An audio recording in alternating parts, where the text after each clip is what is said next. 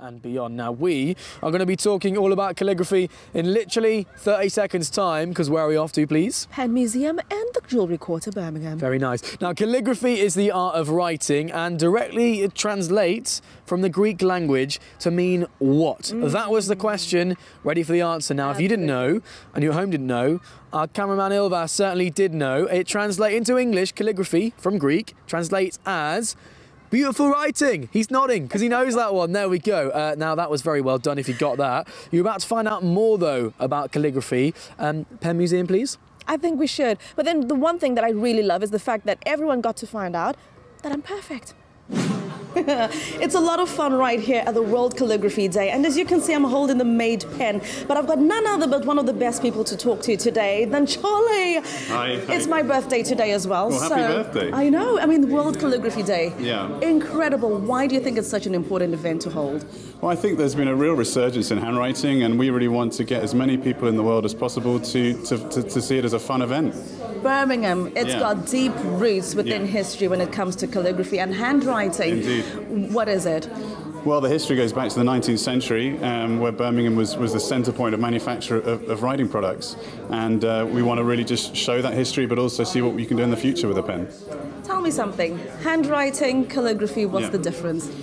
Calligraphy just means the art of beautiful writing, so that it's the same thing. And I think often calligraphy has had a stigma to it that it's, it's very tricky and traditional, but actually it's just a, it's just a form of writing, and we're trying to you know move that forward to the future. I'm going to ask you a very tricky question now, Charlie. go for it. Is there such a thing as an ugly handwriting? Like a doctor's. Most people say doctors have an ugly handwriting. Well, I shouldn't say this, but my handwriting is known to be not very good.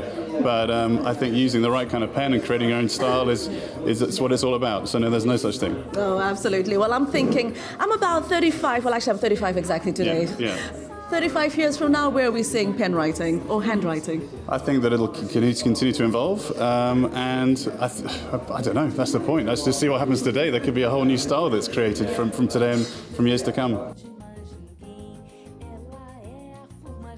I'm going to speak to one of our bloggers from here at the Pen Museum to find out a little bit more, William. You know us on the lowdown. We always want to give people the lowdown of what it is around the West Midlands. Let's talk about Birmingham first of all. Where does Birmingham sit in everything? At everything, the centre of everything. I mean, I'm a Brummie-born guy. What can I say to that? I'm in the Pen Museum. I mean, you're in the museum, uh, the biggest, uh, best pen museum in the world, but also it's here for a reason. It's here because this is where penmanship began. In the 1820s or so, pens being built here. 75% of all pens in the world at one point came from this area of Birmingham. It's just a gorgeous place to be and to celebrate this work. Absolutely. And I think one of the things, I'm holding a pen now, but I find myself typing away on my computer most of the time and my devices. A lot of people are thinking pen write, handwriting is actually dying. What do you say? They might have a point. Mine mine is particularly bad, but I think this.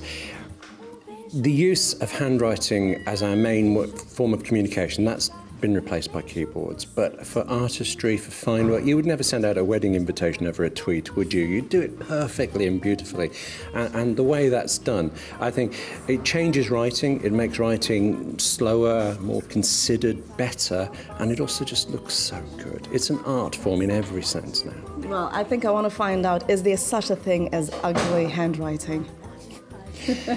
I actually have to uh, text my mom translations of birthday cards and things because of my handwriting, but I didn't tell you that. No, you didn't. No, you didn't. And I think if anyone needs to find out how to write properly, today's probably the best day to have come to World Calligraphy Day right here at the Pen Museum. Or they can come any other time throughout the week to find out how they can improve handwriting that looks like this to something that looks much more sophisticated. Yes, I should have a demo now of mine, shouldn't I? It would look really good. I didn't think of that.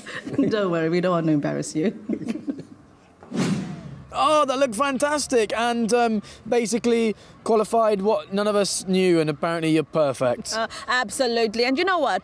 I will say, I knew I was perfect, but it needed the handwriting queen to say that to me. Yeah. And now it's it's official. Yeah. You know, the queen of handwriting, please, you're welcome to our quarters any time of the year. And you know who else is invited? Go on. Manuscript Pen Company, that those are the ones that actually organize the event. Mm. And the Pen Museum. How can we forget the Pen Museum? And that reminds me, I've got a gift for you. Oh, I love gifts. I love presents. Go yes, I'm the one that keeps giving.